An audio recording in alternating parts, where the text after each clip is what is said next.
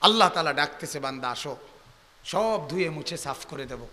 তোমাকে একদম পবিত্র বানায় দেব। আমি চাঁদ উঠাবো। তুমি বন্দিগিতে ডুবে যাবা। তুমি আমার জিকির তসবি তেলাওয়াত, কোরআনুল করিম, তজ তাহাজুদ তারাবি, সেহেরি, ইফতার, জিকির, তেলাওয়াত, এর মধ্যে ডুবে যাও। আমি সব ধুয়ে মুছে সাফ করে রমজান শেষ হতে হতে তোমার জান্নাতের ফয়সালা লিখে দেব। তুমি আসো আমার কাছে।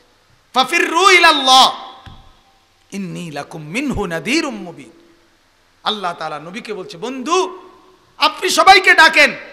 ও আল্লাহর বান্দারা, তোমরা সবাই আল্লাহর দিকে ফিরে আসো। আমি মোহাম্মদ, আল্লাহর পক্ষ থেকে তোমাদেরকে স্পষ্ট ভয় দেখাচ্ছি। জাহান্নামের, ফিরে আসো আল্লাহর দিকে। আল্লাহর কাছে ফিরে না আসলে জাহান্নাম থেকে রক্ষা পাবা না। অন্য কোনো মাধ্যম আছে কি? কথা বলেন না কেন?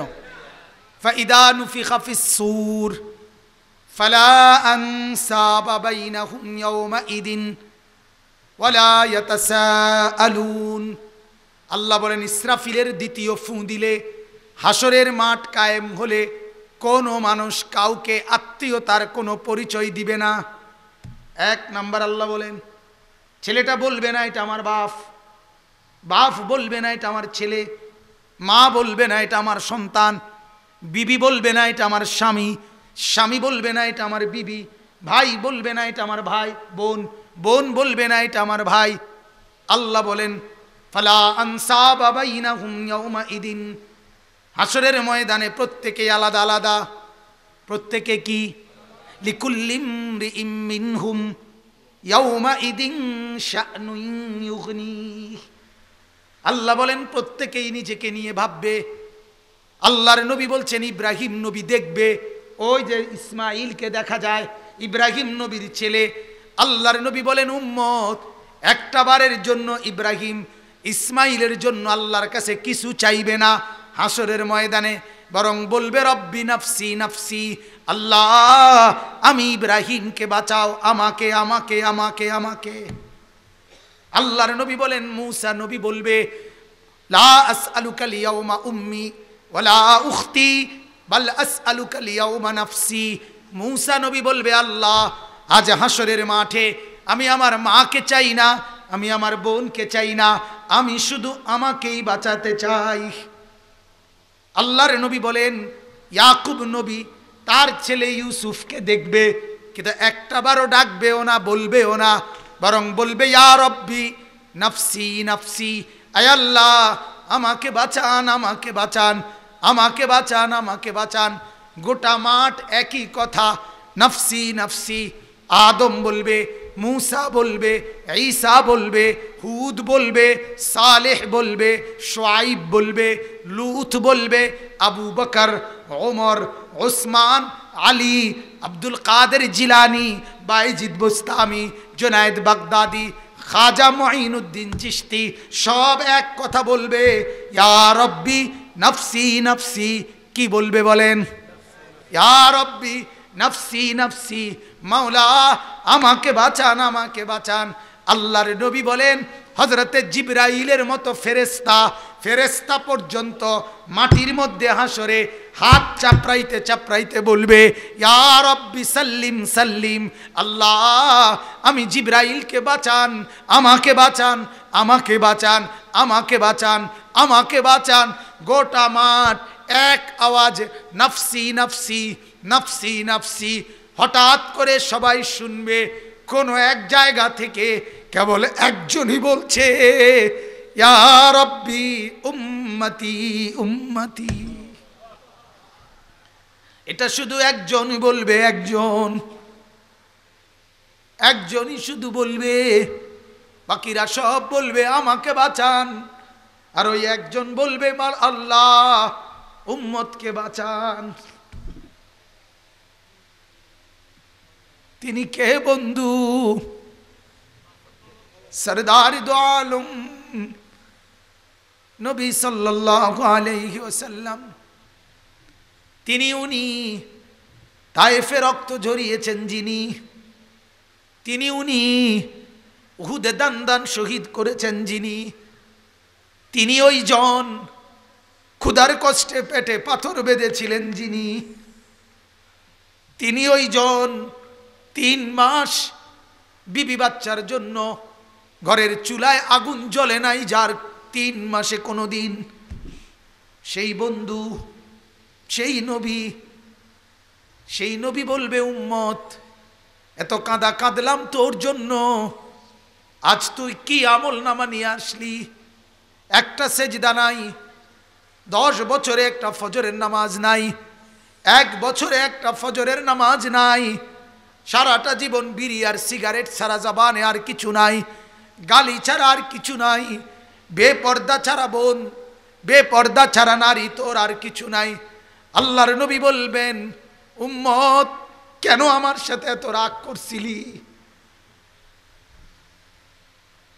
আমল নামা এটা কিনি আর সোম্মত বন্ধু, কোরআনে আছে সুরার নিসার মধ্যে ফাকাইফা ইদা জি ইনামিন কুল্লি উম্মাতিম বিশাহিদ। জিনাবিকা আলাহা উলাই শাহিদা। আল্লাহ বলে, নবী, সব নবীকে তার উম্মতের আমল আমি দেখাবো।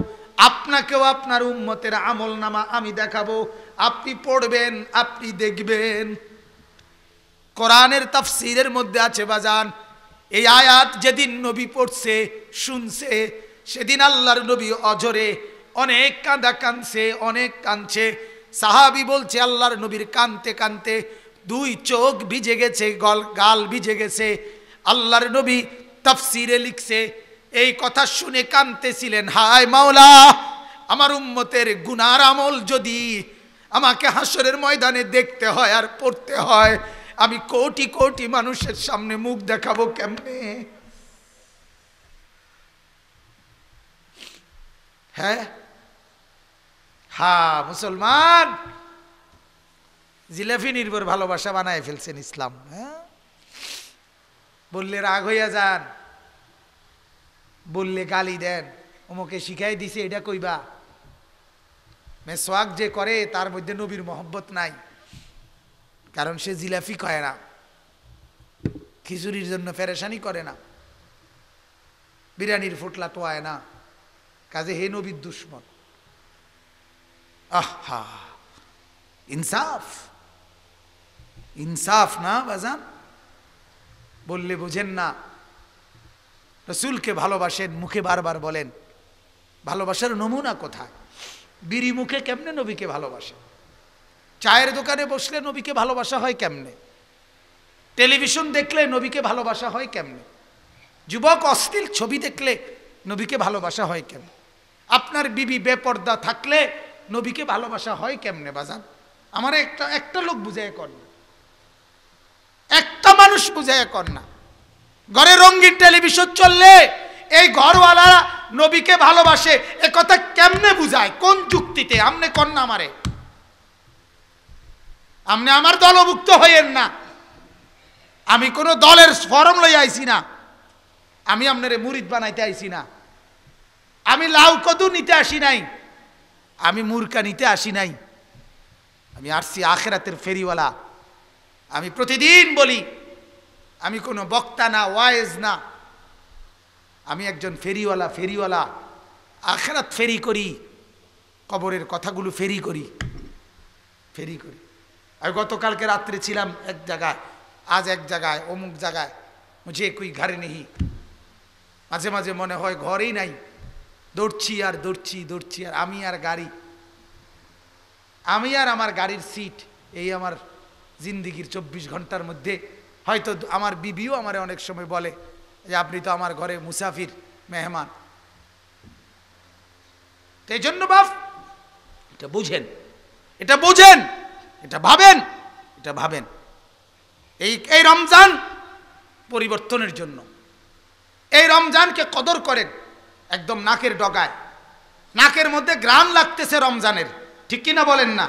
অতএব একটাবার সিদ্ধান্ত নেন যে ইনশাআল্লাহ এই রমজানটা দামি বানাবো। বলেন ইনশাআল্লাহ। বলেন না ইনশাআল্লাহ? বলেন না ইনশাআল্লাহ? একটা রমজান দামি বানান। একটা রমজান দামি বানান। কীভাবে দামি বানাবেন? ছোট ছোট আমল। এক নাম্বার, পাঁচ ওয়াক্ত নামাজ। এই রমজানে জামাতের সাথে পড়বেন, এ কথা নিয়ত করেন। দিল থেকে নিয়ত করেন। পাঁচ, শোনেন বাপ, আমার একটা কথা, আমি শেষে শুধু এই আমলের কথাগুলো বলছি। এক নাম্বার হলো, আল্লাহ নবী সাল্লাহ সাল্লাম জীবনে ওনার তেইশ বছরে কোনো আমল তরকের উপরে মানে কোনো ন্যাক আমল ছুরি ছেড়ে দিছে উম্মত, কোনোটার ব্যাপারে এত কঠিন ধমক, এত রাগ আল্লাহর নবী দেখায় নাই। জামাত তরকের ব্যাপারে নবীজি যেই গুরুত্বটা দিছে। আল্লাহর নবী বলছে, আমার মন চায় বুখারির হাদিস, মুসলিমের হাদিস। আমার মন চায় নামাজের ওয়াক্ত হইলে মসজিদের জামাত দাঁড় করাইয়া আমারই একজন সাহাবিকে বলি, তুমি নামাজটা পড়াও, আমি একটু আইতে আসি। এই কথা বলে আল্লাহর নবী বলেন, আমের মন চায় কয়েকজন লোক নিয়া লাকড়ির মধ্যে আগুন ধরাইয়া যেই ঘরগুলোতে পুরুষ জামাতে আসে নাই, আমি তাদেরকে ঘরে রাখা ওই ঘর সহ ওই নাফরমানকে জ্বালায় দেই, এটা আমি রসুলের মন চায়।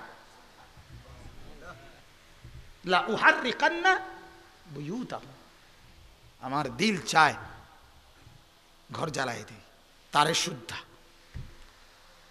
আল্লাহ নবী বলেন লাউলান নিসা বলে আতফাল বলে আজুস, বুড়া নারী, শিশু, এরা যদি না থাকতো, তো আমি সত্যি সত্যি আগুন লাগাই দিতাম।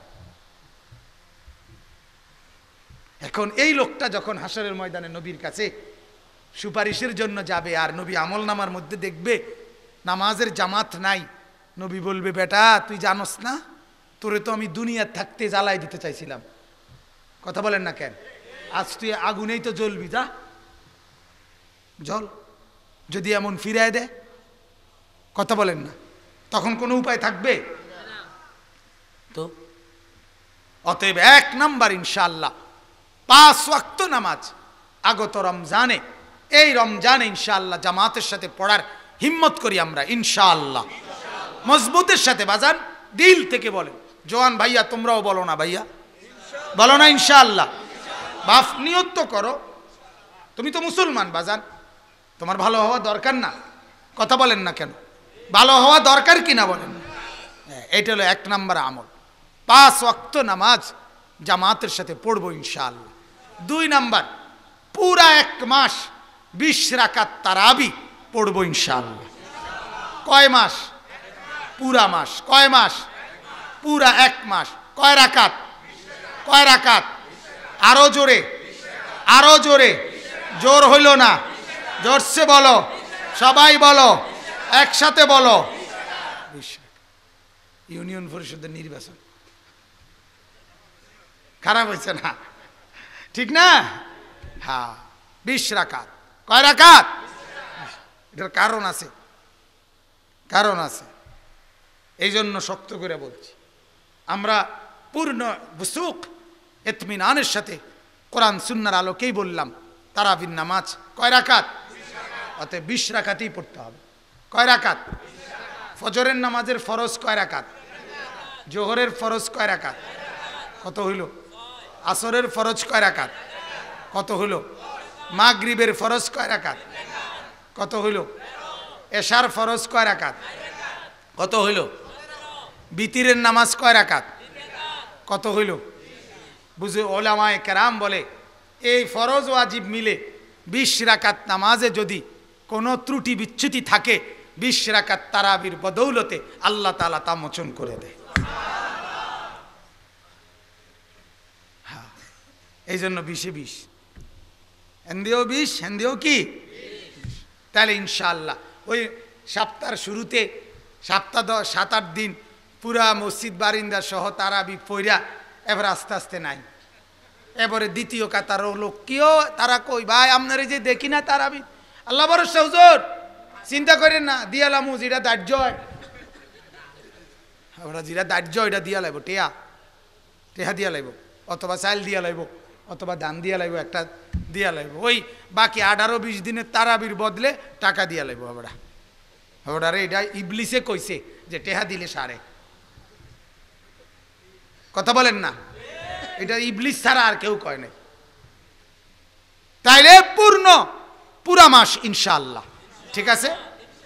আল্লাহ তৌফিক দান করুক। তিন নাম্বার, কোরআনুল করিমের তিলাওয়াত। তিন নাম্বার কি বলেন? বেশি বেশি কোরআন তিলাওয়াত। রমজান, এই কাগজের, এই পিঠ আর ওই পিঠ আলাদা করা যায়নি। বুঝেন না আমার কথা এই কাগজটার দুই পিঠ আলাদা করেন যাবে উনি। ঠিক রমজান আর কোরআন, একেবারে এরকম, মনে হয় যেন হাতের তালুর এই পিঠ আর এই পিঠ। এটা যেরকম, কাগজের এই পিঠ আর ওই পিঠ, রমজান কোরআন এরকম। রমজান মানে কোরআন কোরআন মানে রমজান। অর্থাৎ রমজান যেন হয় কোরআনের ধ্বনির উৎসব। ঘরে ঘরে ঘরে ঘরে যেন কোরআন তেলাওয়াতের একটা কি চলে? সবাই যেন বুঝে, এখন চলছে রমজান। এখন চলছে কি? হ্যাঁ এজন্য আল্লাহ তালা বলেন, শাহরু রমাদান আল্লাদি উনজিলা ফিহিল কোরআন। রমজান মাস, এটা আমার মাস, আমি নাজিল করেছি এতে কোরআন। কি? আশ্চর্য শুনেন। যিনি নাজিল করেছেন, তিনি হলেন রাহমান। কি বলেন তো? রাহমান। আবার বলেন, যা নাজিল করেছে, তার নাম হলো কোরআন। যে মাসে নাজিল হয়েছে, ওই মাসের নাম রমজান। আর গ্রহণ করে যে তার নাম মুসলমান। উনি রহমান। এটা রমজান। নাজিল হয়েছে কোরআন। গ্রহণ করে যে মুসলমান। রহমান, রমজান, কোরআন, মুসলমান। বলেন, আলহামদুলিল্লাহ। এই জন্য ইনশাআল্লাহ বেশি বেশি বেশি বেশি বেশি বেশি বেশি বেশি আল্লাহর কোরআন তেলাওয়াত করব। ঠিক আছে, ইনশাআল্লাহ? এরপরে যারা কোরআন শরীফ পারেন না পড়তে। তাদের আমল হলো কমপক্ষে একটা কালেমার জিকির, কালেমায় তৈবার জিকির। বলেন তো।